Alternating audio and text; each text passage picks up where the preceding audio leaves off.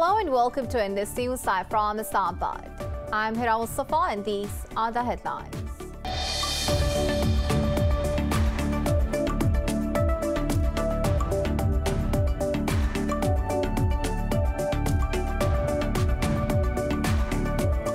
Qatar's foreign minister says Islamabad and Doha share a common vision of having a peaceful and stable Afghanistan. Sheikh Mohammed bin Abdul Rahman Al Thani was addressing a press conference along with his Pakistani counterpart in Islamabad. He said Pakistan played a leading role in facilitating the Afghan peace process. Shah Mahmood Qureshi, meanwhile, warned of peace spoilers, saying Afghanistan should not be turned into an arena of proxy wars. Earlier, CIA Director William Burns called on Army Chief General Qamar Javed Bajwa to discuss the latest developments in Afghanistan.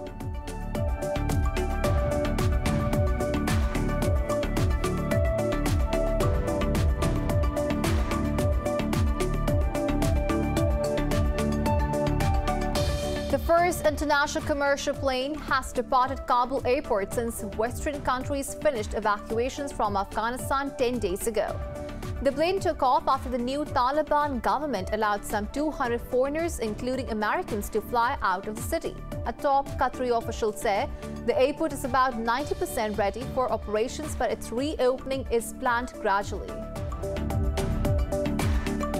Israeli forces have injured over 100 Palestinian protesters in the West Bank city of Nablus. Palestinian Red Crescent Society said at least one man was shot with live fire and seven with rubber-coated steel bullets. The protesters had gathered against Israel's aggression towards Palestinian detainees and harassment of their families.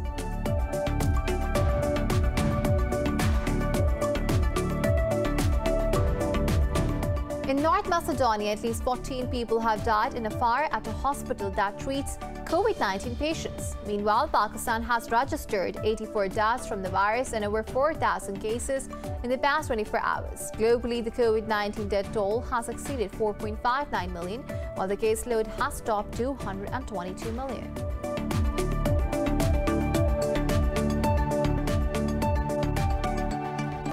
Well, those were the headlines. News in detail coming after the short break. Stay with us.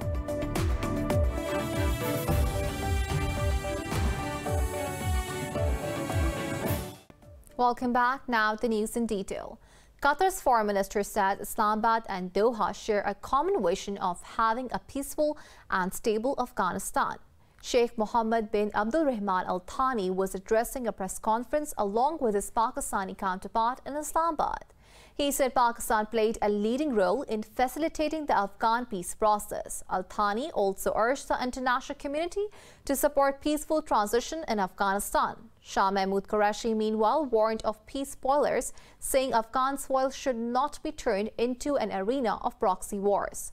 The foreign minister stressed the need to avoid a humanitarian catastrophe in the war-torn country. Earlier, Al Thani also called on Pakistan's Prime Minister Imran Khan. CIA's Director William Burns has hailed Pakistan's role in the Afghan peace process and successful evacuation operations. Burns called on Pakistan's Army Chief General Qamar Javed Bajwa and DG Inter-Services Intelligence Lieutenant General Faiz Hamid. According to the military's media wing, the two sides discussed matters of mutual interest, regional security and the evolving situation in Afghanistan. The CIA director pledged to play a role for further improvement in diplomatic cooperation with Pakistan at all levels. The army chief said Pakistan will continue to cooperate with its international partners for peace in the region.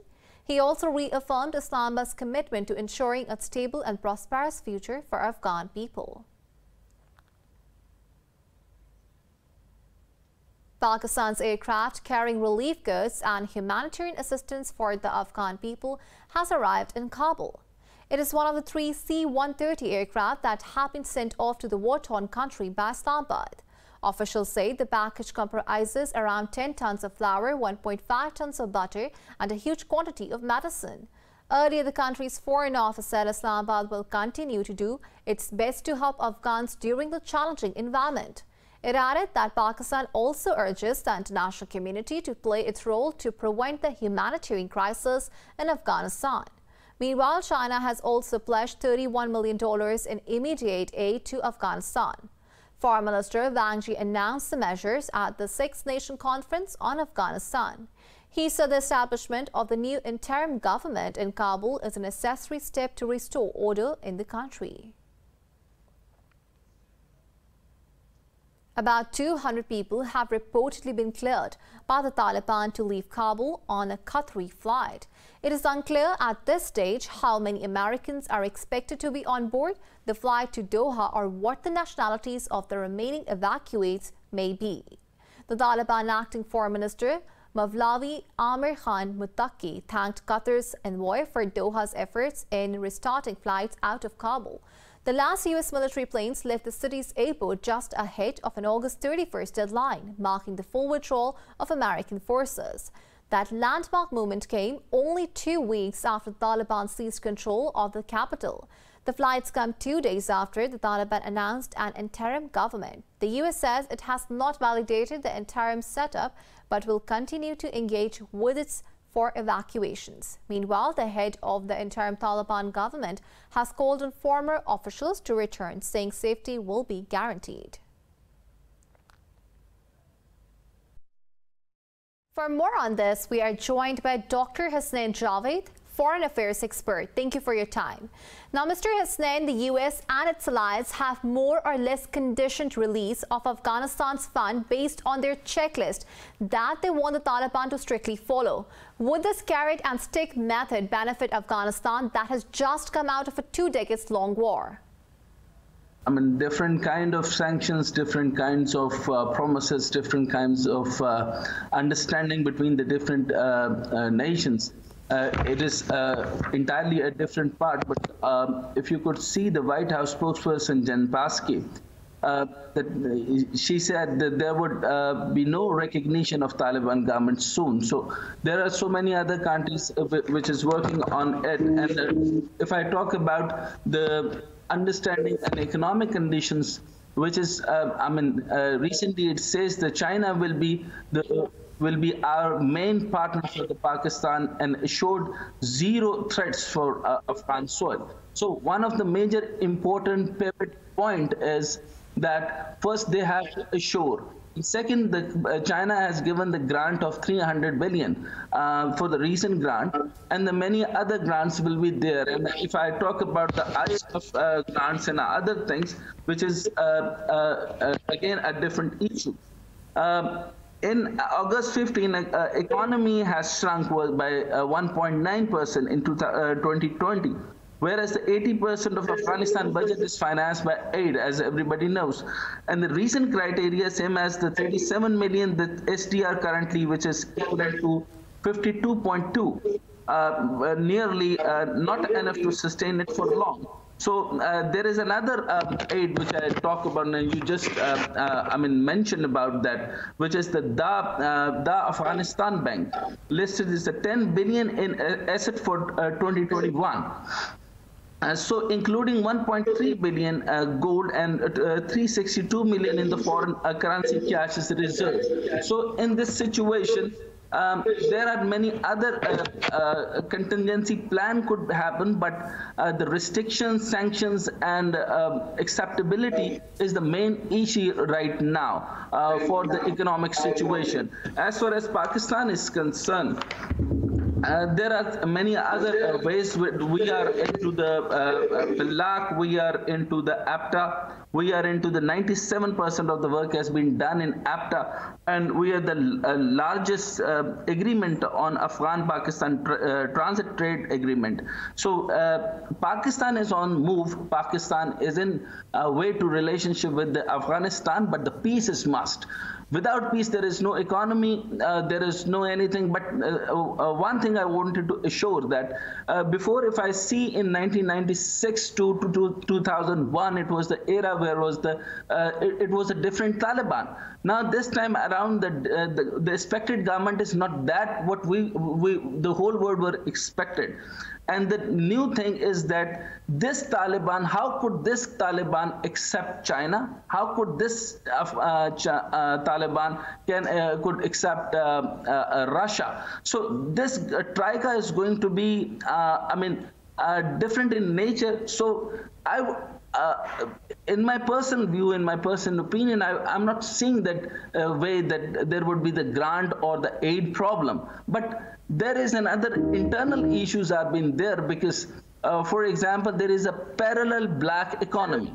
So I don't want to mention, uh, I don't want it to be, uh, I don't want to get into that way, but there is a parallel uh, black economy is there. I mean, the largely Americans' involvement would there into the um, large scale production of opium and other things. And mostly the Afghan economy is uh, dependent on the black economy.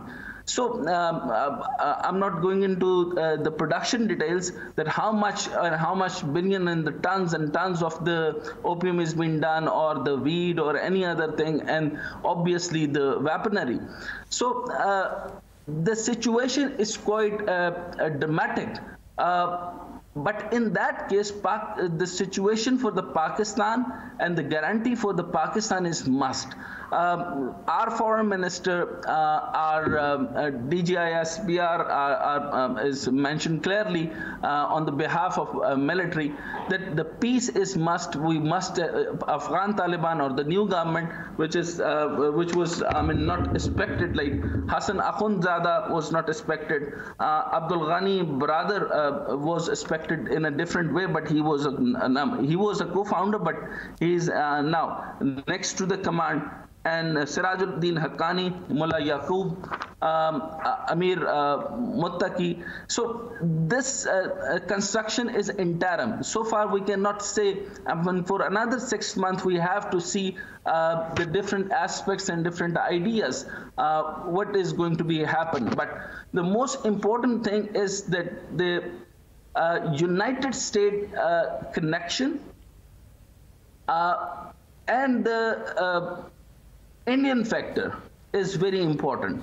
Uh, I can, uh, I mean, uh, this is uh, a news for you people might, be, I mean, there are so many uh, Chinese companies working already in Afghanistan. So uh, the Chinese pact with Afghanistan might get the better economic uh, condition in Afghanistan. So this is the very initial, uh, you can say that this is very initial aid that's been given for uh, for about uh, 300 billion. So maybe they, they, they would increase in that or obviously uh, we still cannot comment on the, the, the previous economy which is already dependent on 80% of the aid as I told you earlier.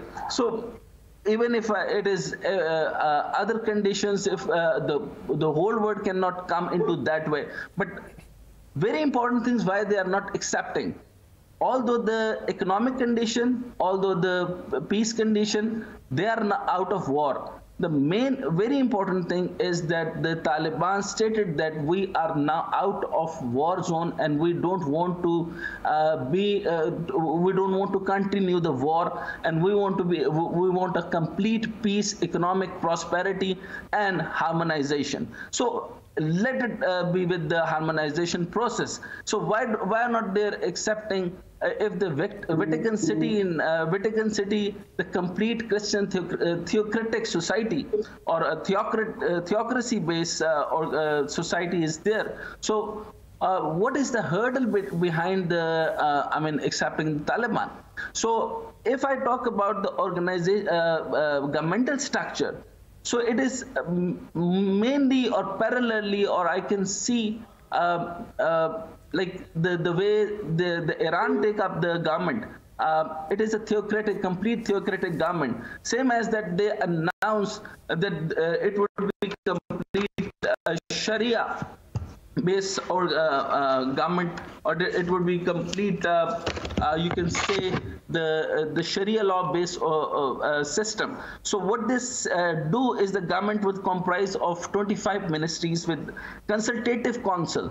So this is the idea they, they are getting into the consultative council or the shura or the 12 muslim scholars or the loyal jirga or you might say the grand assembly so it is the same model where has been taken by their, and so you have seen that uh, I just missed the name uh, that uh, the one is the religious head of the whole, uh, uh, I mean, Taliban. So Next, the, then uh, then is the superior council, and then is the governmental structure, which is the presidential system. So it is parallel to Iran system. Now you can see the you can say that in the Southeast Asian region.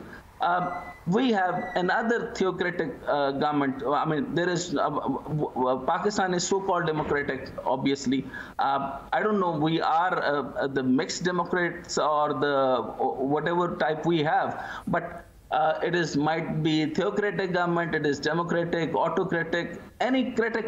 I don't know. More, moreover, it is based on the critic organization. But well, the structure would have like uh, it is complete theocracy based structure which is dependent on the Sharia law.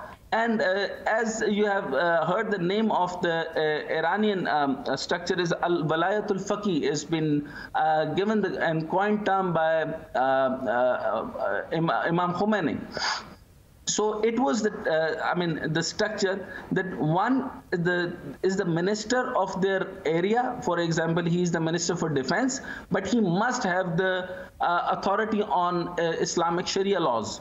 Then as the one is the uh, uh, i mean the minister for the uh, for the finance minister for the production minister for transport minister for anything but must have the highest degree of sharia Right. What are the biggest challenges standing in the way of a stable Afghan government that could boost regional connectivity?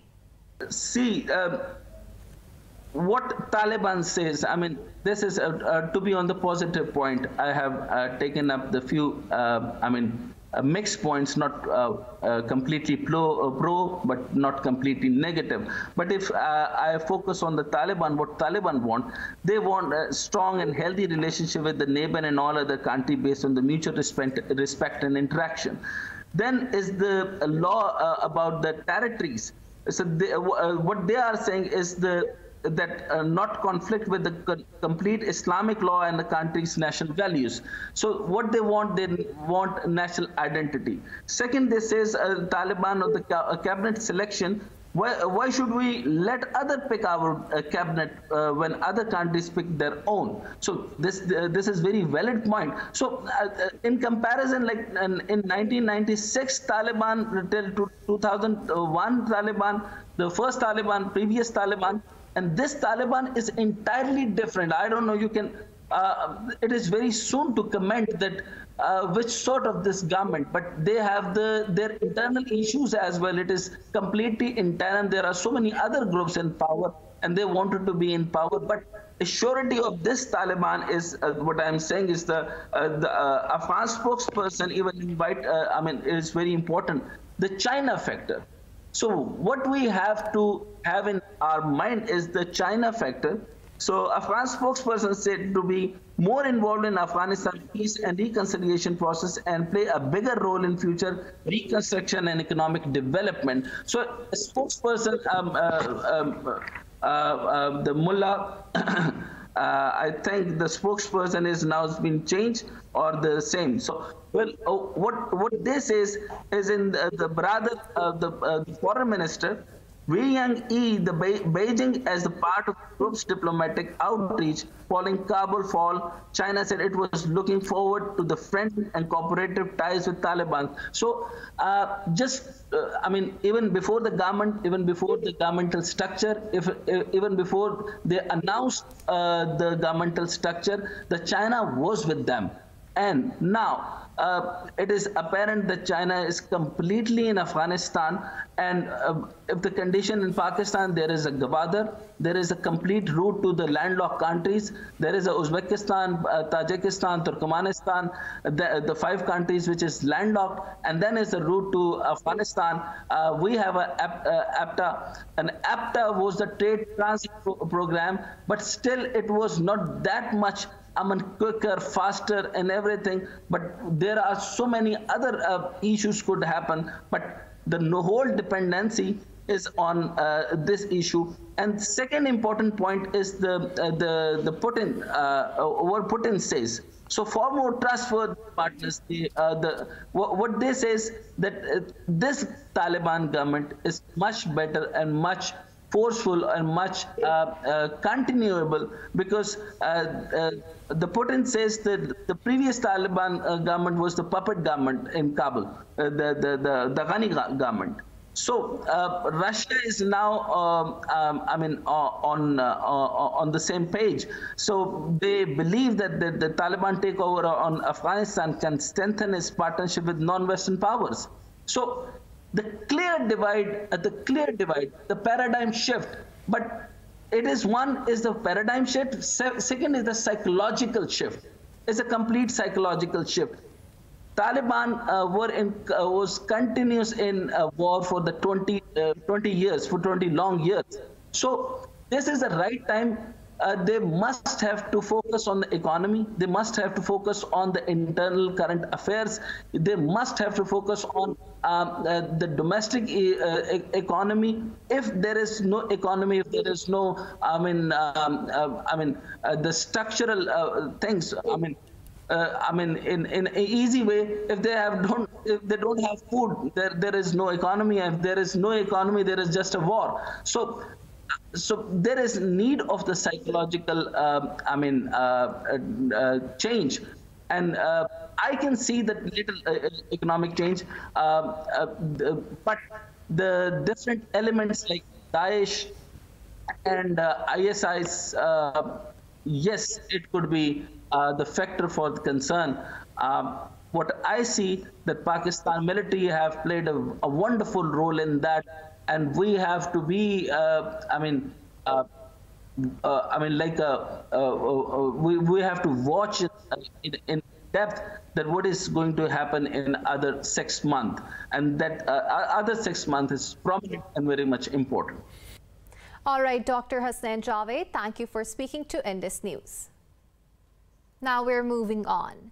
The U.S. Secretary of State Antony Blinken has warned that time is running out for Iran to return to the nuclear deal. In a press briefing, Blinken said Iran's advancing nuclear program can render the return to deal is pointless. He said US envoy for Iran, Rob Malley, is consulting with Russia and European states on the matter. This comes after International Atomic Energy Agency accused Iran for failing to explain uranium traces at three undeclared sites. Iranian President Ibrahim Raisi has warned the counterproductive approach of the UN agency will disrupt the negotiation process. He made these remarks in a phone call with European Council President Charles Michel. Raisi said Iran's cooperation with the IAEA shows its will to observe transparency in its nuclear activities. Earlier, US Navy's Mid-East base 5th Fleet said it will launch a new task force invoking airborne sailing and underwater drones. Israeli forces have injured over 100 Palestinian protesters in Nablus city of the West Bank. Palestinian Red Crescent Society said at least one man was shot with live fire and seven with rubber-coated steel bullets. The protesters had gathered against Israel's aggressions towards Palestinian detainees and harassment of their families. Massive rallies are being held throughout the West Bank in support of the prisoners in Israeli jails. The occupying forces are also arresting relatives of Palestinians who are on the run after escaping from a maximum security prison. The Arab coalition says it has destroyed several explosive little drones launched by the Houthis. In a statement, the coalition said the drones were aimed at the Saudi city of Khamis Mushait. Meanwhile, the coalition-backed Yemeni military claimed to have launched the biggest air raids on rebel sites in the city of Taiz. A Yemeni army official said airstrikes destroyed ammunition and missile stores, rocket launchers, and a command and control room. The Arab media said the coalition's missiles struck the city's airport and an air defense military base. Earlier, 60 rebels and 18 pro-government troops were killed in fighting for the strategic city of Marib. In North Macedonia, at least 14 people have died in a fire at a hospital that treats COVID-19 patients. Globally, the COVID-19 death toll has exceeded 4.59 million, while the caseload has topped 222 million. Details in the following report. The mutating variants of COVID 19, rising cases, and faltering vaccination drives have prompted nations to step up restrictive measures once again. The Pan America Health Organization has warned that new cases in Americas are nearly double the rate than last year, at this time amid lagging vaccination rates. US President Joe Biden is set to present a six pronged strategy to fight the spread of dangerous Delta variant. In Europe, the bloc medicines regulator has added an extremely rare nerve damaging disorder as a possible side effect of AstraZeneca's vaccine. Meanwhile, Austria has decided to impose restrictions on unvaccinated people in future as the occupancy rates in intensive care units rise. Klar ist, dass wir it is clear that we do not intend to impose any restrictions on the vaccinated, but will put in place protective measures for the unvaccinated where necessary. There is therefore a step by step plan, which we will also forward to you, that affects the unvaccinated. Germany is extending its COVID 19 emergency aid for struggling companies by three months until the end of this year. Ireland has announced to give vaccine booster shots to elderly people who were fully vaccinated at least six months ago. New Zealand has reached a deal with Spain to receive over a quarter of a million doses of the Pfizer vaccine. Meanwhile, despite rising cases, Sydney's cafes, restaurants, and pubs are set to reopen in the second half of October. I want to stress that whilst uh, today the New South Wales Government is outlining our plan, our roadmap for the way forward in New South Wales, that we're definitely not out of the woods. Uh, we know that case numbers are likely to peak in the next week or so, and we also know that our hospital system will be under the greatest stress in October. In Asia, Taiwan has announced to issue stimulus coupons to boost consumer spending by $7.22 billion to support its pandemic hit economy. Japan has extended curves in Tokyo and other regions until the end of this month to prevent overwhelming of hospitals.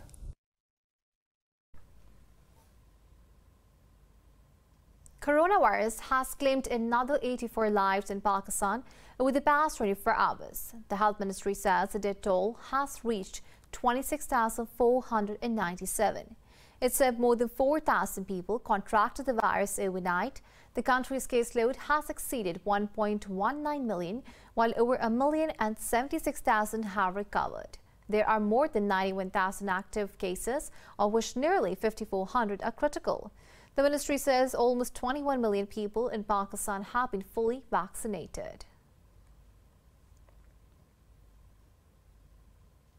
Indonesia and Australia have agreed to boost ties in the areas of defense and security. The two sides signed a series of deals in a ministerial meeting in Jakarta. Indonesian officials say memoranda of understanding were reached on counter-terrorism, defense and cybersecurity. They say the possibility of Indonesian military cadets attending Australian academies were also discussed. Meanwhile, the two sides also exchanged views on the political developments in Afghanistan and Myanmar. They also expressed support for the peace efforts of a Southeast Asian regional envoy. Australian defense and foreign ministers are on a four-nation visit to Indonesia, India, South Korea and the U.S. More news stories coming up after the short break. Stay with us.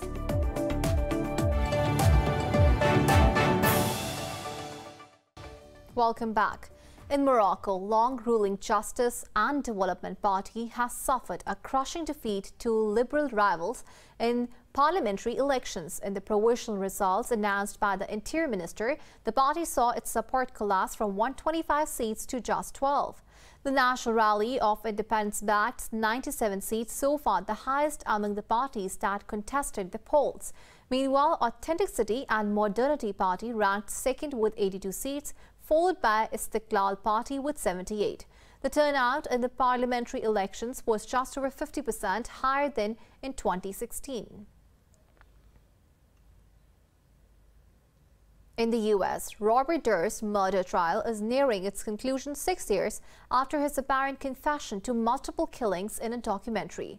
Durst is accused of killing his friend Susan Berman at her Beverly Hills home in 2000.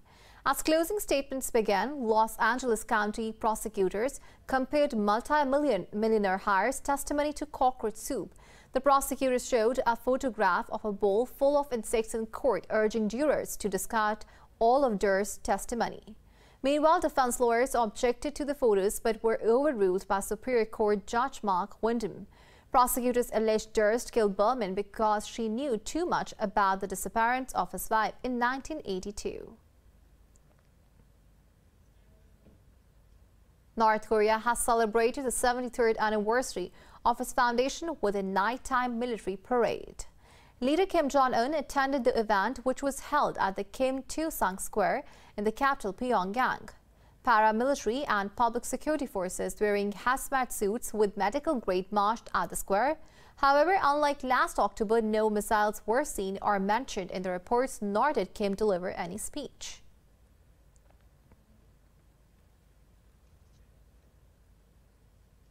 In India, heavy monsoon floods have displaced more than a million people in the northern Uttar Pradesh state. The displaced have been forced to live in tents on roads after their houses were submerged in water. The victims in the state's Gorakhpur city took shelters on higher grounds with their cattle in makeshift tents alongside roads. They say they are starving and awaited government aid. Rain support two-thirds of India's 1.25 billion population living in rural areas that rely on farming. However, excessive precipitation causes problems like floods, landslides and waterborne diseases in the country. In Spain, a wildfire has forced some 500 people to evacuate from the southern resort of Estepona. In a statement, officials said that about 250 firefighters are extinguishing the fire. It added that the fire broke out in the mountains of Sierra Bermeja and strong winds are making the extinguishing work difficult. Wildfires had so far ravaged over 74,000 hectares in Spain. Large wildfires have destroyed various parts of the world this year, fueled by extremely hot and dry weather conditions. In the U.S., a statue of Confederate Commander Robert Lee has been removed from its base in Virginia after a year-long legal battle. More in this report. Since 1890, the memorial has stood at Monument Avenue in Richmond, the former capital of the pro-slavery Confederacy. One of the controversial Civil War leaders has been the focus of protests in the United States over racial injustices. It's a beautiful moment um, in this country. You know, this isn't the end, but these sign this signifies that we're accepting the past for what it really is. We can't hold the Confederacy and, and people like Robert E. Lee on statues anymore. We've got to hold the truth on a statue. The 21-foot bronze statue of Robert E. Lee is one of the largest in the United States. Memorials that honor leaders of the Confederate side have become targets of protests against racism. Defenders of the statue say they are tributes to the bravery of those who fought in the Civil War to defend the South. It's been a long time coming. I'm, I'm a native of Richmond. I've been here all my life. I'm 60 some years old. And so I've been passing through and seeing this. But to finally come down, man, it's a moment of joy for me because it represents so much of oppression, depression, because who Robert E. Lee represented. Earlier this week, the Virginia Supreme Court unanimously ruled in two cases that the statue could be removed. During the last six years, more than 300 symbols of the Confederacy and white supremacy have been taken down, while some 2,000 still stand. And now it's time to take a short break. Stay with us.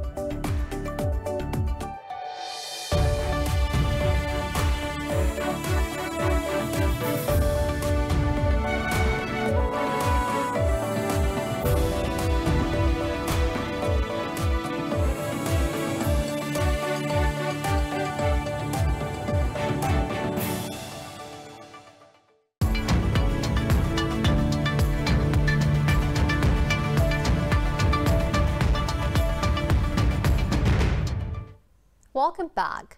Auto giant Toyota says it will invest over $100 million for local production of hybrid electric vehicles in Pakistan. The company said it has plans for localization of components and plant expansion at Karachi's Port Qasim Industrial Hub. This comes after the company's officials held a meeting with Prime Minister Imran Khan in Islamabad. The officials also hailed the Pakistan government's policies to encourage low-carbon mobility solutions.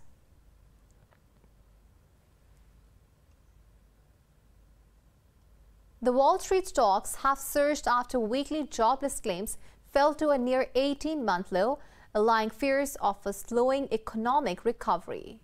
The Labor Department said initial claims for state unemployment benefits dropped to over 300,000. The shares of JP Morgan, Wells Fargo and Citigroup gained over 1%. All the major bourses were landed in positive categories. Meanwhile, the oil prices remained steady as Delta variant continues to weigh on the demand outlook. For the weather updates, we have Munib Hamid with us.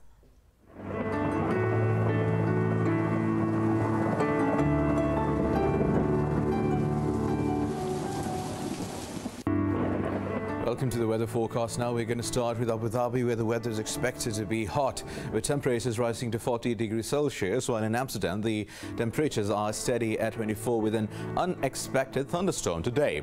Now if we head to Ankara there is also sunny weather with temperatures at 30. Now moving down under to Auckland, the temperature is chilly at 16 with rain in forecast. Now if you are traveling to Bangkok, there will be thunderstorm with temperatures around 29 degrees Celsius. Now in Beijing, temperatures are at 27 accompanied with layer of clouds in the sky. While Beirut will also experience partly sunny weather with temperatures at 31. Meanwhile, Berliners will experience temperatures at 26 degrees Celsius accompanied with sunny sky. Now, if we're heading to Cairo, the sun will be out with temperatures at 37 with clear sunny sky in the forecast. And down under in Canberra, the temperatures are at 19 with partly cloudy weather today. In Islamabad, temperatures are 29 with thunderstorm in the forecast, while in Jakarta, the temperatures are steady at 33 along with the rain today. And that is all for now. Back to you. Thank you, Munib Hamid. For the latest updates, you can follow us on social media at indus.news.